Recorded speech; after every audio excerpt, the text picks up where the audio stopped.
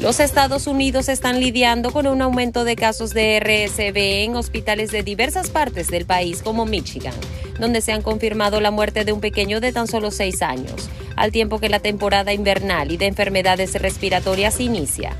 el pequeño del condado de Macomb. Murió por el virus respiratorio sincitial, mejor conocido como RCV, la madrugada del miércoles, cerca de las 3 y 40 de la mañana en el hospital Corewell Health Vermont Troy, en el estado de Michigan, según informes de la prensa local.